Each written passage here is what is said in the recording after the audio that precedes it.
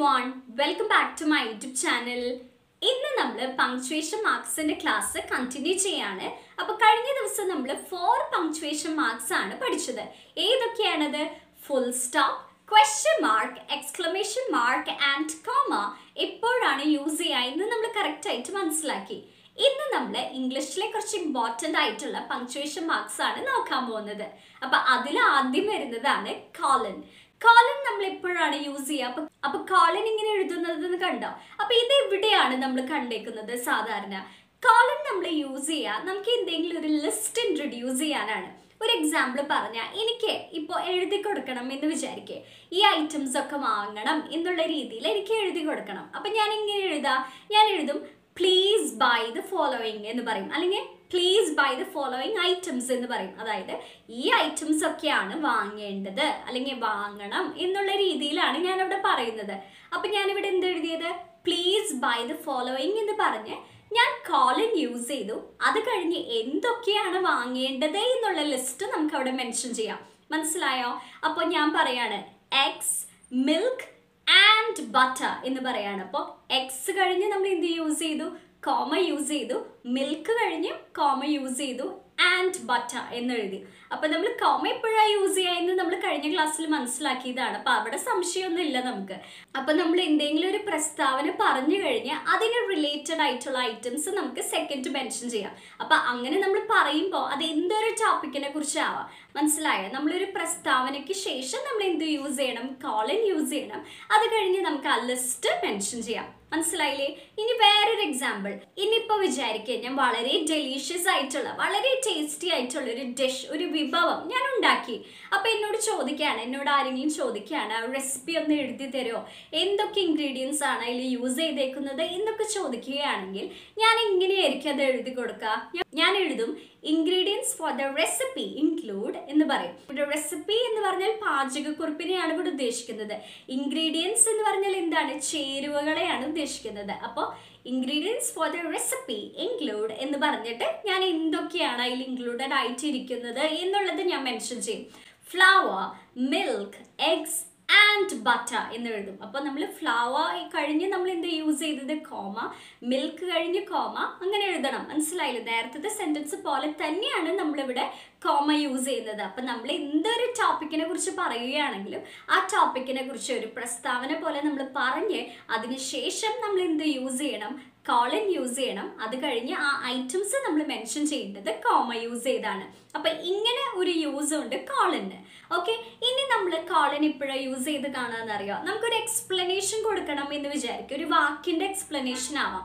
ഇപ്പൊ ഒരു എക്സാമ്പിൾ പറഞ്ഞാൽ ഇപ്പോൾ ബയോളജി അപ്പോൾ ബയോളജി എന്നെഴുതി ഞാൻ എന്താ യൂസ് ചെയ്തത്? കോളൻ യൂസ് ചെയ്തു.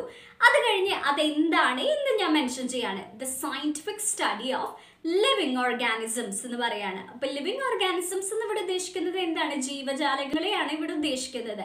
ഇനി സയന്റിഫിക് സ്റ്റഡി എന്ന് പറഞ്ഞാൽ എന്താണ്? ശാസ്ത്ര പഠനം എന്നൊക്കെ നമ്മൾ പറയില്ലേ? അപ്പൊ ഇങ്ങനെയൊക്കെ ഒരു ഒരു വാക്കിന്റെയോ അല്ലെങ്കിൽ ഒരു ടേമിനെ കുറിച്ച് നമുക്ക് എക്സ്പ്ലെയിൻ ചെയ്യാൻ നമുക്ക് എന്ത് യൂസ് ചെയ്യാം? കോളൻ യൂസ് ചെയ്യാം.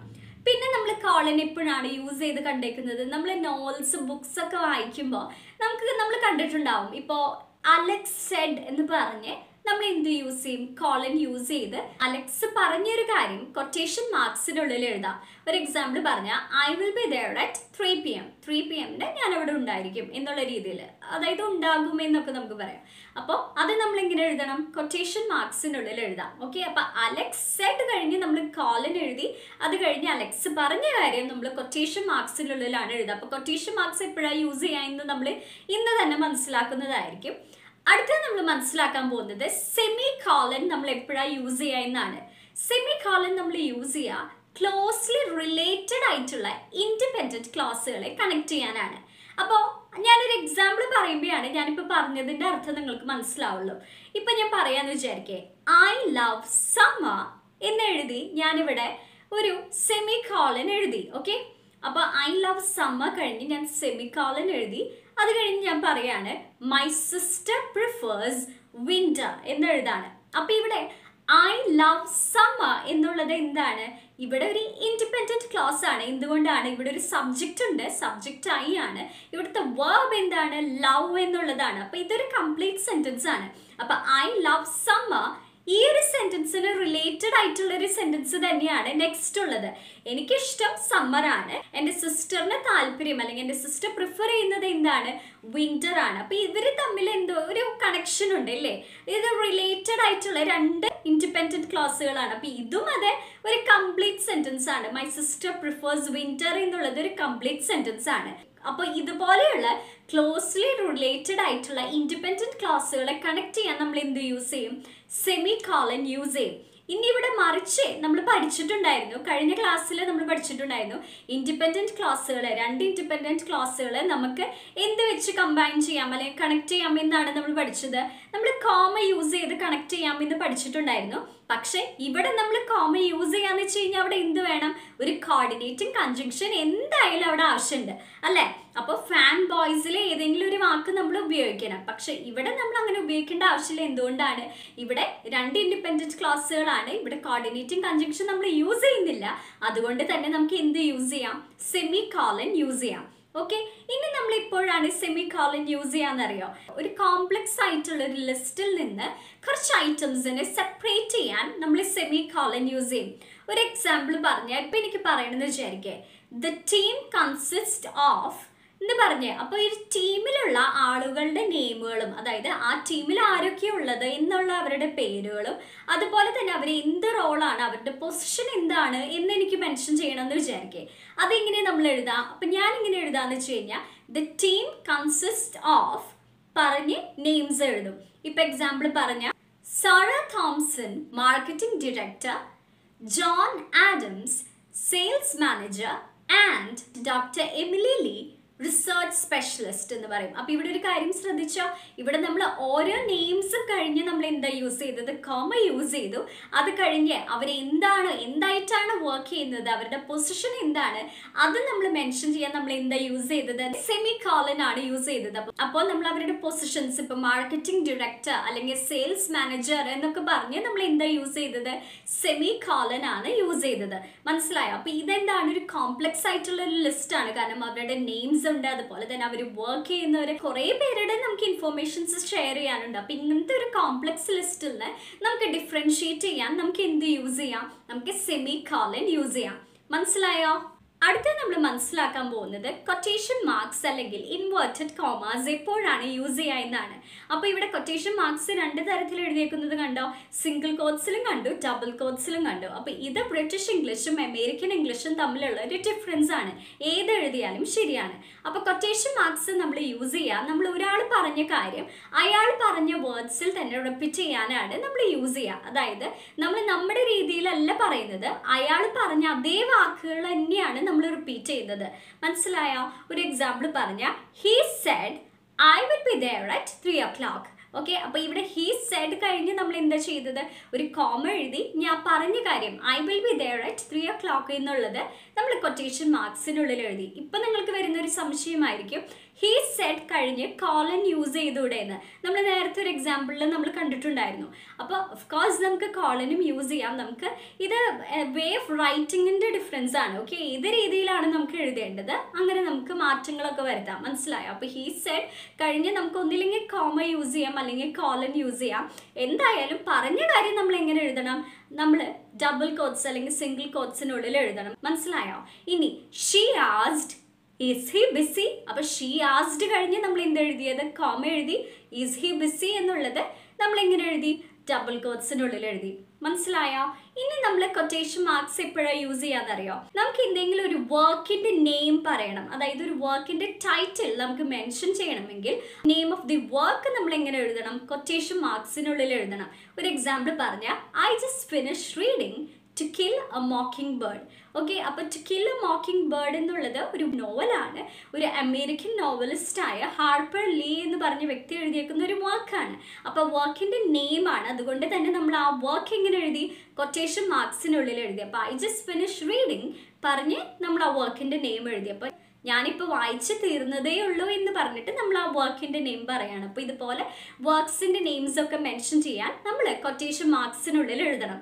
മനസ്സിലായോ? ഇനി നമുക്ക് ചില വാക്ക് എംഫസൈസ് ചെയ്യണമെന്ന് വിചാരിക്കുക അതായത് ചില വാക്കുകൾ നമുക്ക് ഹൈലൈറ്റ് ചെയ്യണം എന്ന് വിചാരിക്കുക അപ്പോൾ അങ്ങനെയുള്ള സിറ്റുവേഷനിൽ നമുക്ക് എന്ത് എഴുതാം ആ വാക്കുകളെ നമുക്ക് കൊട്ടേഷൻ മാർക്സിനുള്ളിൽ എഴുതാം. For example The term innovation is often overused in today's business world. അപ്പോൾ ഇപ്പോഴത്തെ ബിസിനസ് ലോകത്ത് ബിസിനസ്സിന്റെ ലോകത്ത് ഏതാണ് ഇന്നോവേഷൻ എന്നുള്ളൊരു വാക്ക് ഒരുപാട് പലപ്പോഴുമായിട്ട് ഓഫൺ എന്ന് പറഞ്ഞാൽ പലപ്പോഴുമായിട്ട് ഉപയോഗിക്കുന്നുണ്ട് എന്നാണ് ഇവിടെ അർത്ഥം വരുന്നത്. ഓക്കെ അപ്പോൾ ഇവിടെ ഇന്നോവേഷൻ എന്നുള്ള ആ വാക്കിനെ ഹൈലൈറ്റ് ചെയ്യാൻ നമ്മൾ എന്താ ചെയ്തത്? നമ്മൾ അവിടെ കൊട്ടേഷൻ മാർക്സിനുള്ളിലാണ് നമ്മൾ ഇന്നോവേഷൻ എന്നുള്ളൊരു വാക്ക് യൂസ് ചെയ്തത്. മനസ്സിലായോ? ഇനി നമ്മൾ കൊട്ടേഷൻ മാർക്സ് യൂസ് ചെയ്യുക നമ്മളിങ്ങനെ ഒരു സർക്കാസം പോലെ അതായത് ഇങ്ങനെ കളിയാക്കി പറയുന്ന പോലെ മോക്ക് ചെയ്യുന്ന പോലെ പറയാൻ അതായത് ചില വാക്കുകളെ നമുക്ക് ഹൈലൈറ്റ് ചെയ്ത് പറയാൻ നമ്മൾ കൊട്ടേഷൻ മാർക്സ് യൂസ് ചെയ്യും. ഒരു എക്സാമ്പിൾ പറഞ്ഞാൽ his helpful advice only made things worse അപ്പം ഇവിടെ ഹെൽപ്ഫുൾ എന്നുള്ളൊരു വേർഡ് നമ്മൾ ഇൻവേർട്ടഡ് കോമാസ് യൂസ് ചെയ്തിട്ടാണ് എഴുതിയേക്കുന്നത്. അപ്പോൾ ഇവിടെ നമ്മൾ ഇതൊരു കളിയാക്കുന്ന പോലെയാണ് പറഞ്ഞേക്കുന്നത്. അതായത് ഹിസ് ഹെൽപ്ഫുൾ അഡ്വൈസ് ഹെൽപ്ഫുൾ എന്ന് പറഞ്ഞാൽ ഇവിടെ എന്ത് ഉദ്ദേശിക്കുന്നത്? അവൻ സഹായകരമായ ഉപദേശത്തിനെയാണ് ഇവിടെ ഉദ്ദേശിക്കുന്നത്. അപ്പോൾ ഇവിടെ അവിടെ സഹായിക്കാൻ വേണ്ടിയിട്ടാണ് ആ ഉപദേശം പറഞ്ഞത്. അപ്പോൾ ആ ഹെൽപ്ഫുൾ എന്നുള്ളൊരു വാക്ക് നമ്മൾ എങ്ങനെ ചെയ്തു? നമ്മൾ ഇൻവേർട്ടഡ് കോമാസ് യൂസ് ചെയ്ത് എഴുതി. അപ്പോൾ ഇവിടെ helpful advice only made things worse എന്ന് പറഞ്ഞാൽ ഇപ്പോഴും ആ ഒരു സിറ്റുവേഷൻ മോശമാക്കിയിട്ടേ ഉള്ളൂ അല്ലെങ്കിൽ വഷളാക്കിയിട്ടേ ഉള്ളൂ എന്നുള്ള രീതിയിലാണ് ഇവിടെ പറയുന്നത്. മനസ്സിലായോ?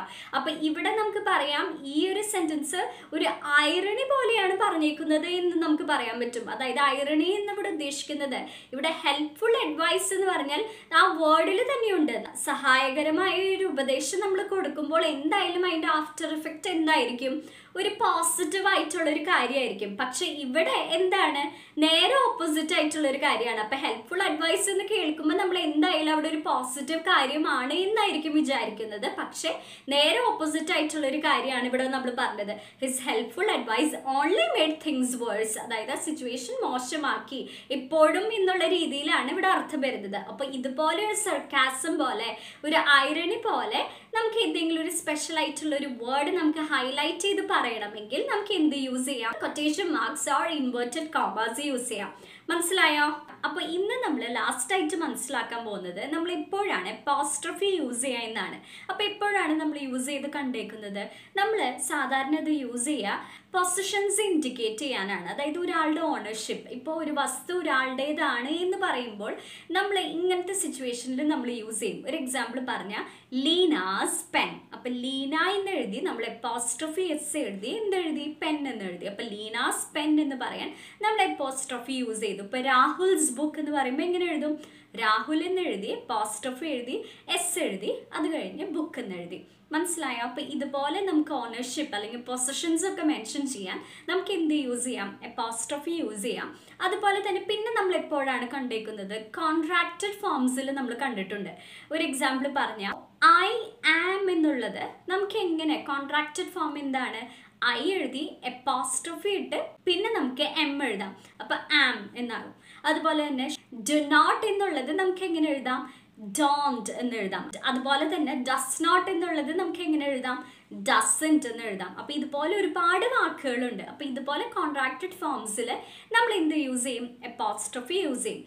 അപ്പോൾ ഇതാണ് മെയിൻലി എപ്പോസ്ട്രഫി യൂസ് ചെയ്യുന്ന സിറ്റുവേഷൻസ് അപ്പോൾ എപ്പോസ്ട്രഫി വളരെ ഈസിയാണ് ഓക്കെ അപ്പോൾ ഇന്നത്തെ ക്ലാസ് ഇത്രയേ ഉള്ളൂ. അപ്പോൾ ഇന്നത്തെ ക്ലാസ് നിങ്ങൾക്ക് മനസ്സിലായെന്ന് അറിയാൻ വേണ്ടി ഞാനൊരു ഈസി ആയിട്ടുള്ളൊരു ക്വസ്റ്റ്യൻ ചോദിക്കുന്നുണ്ട്.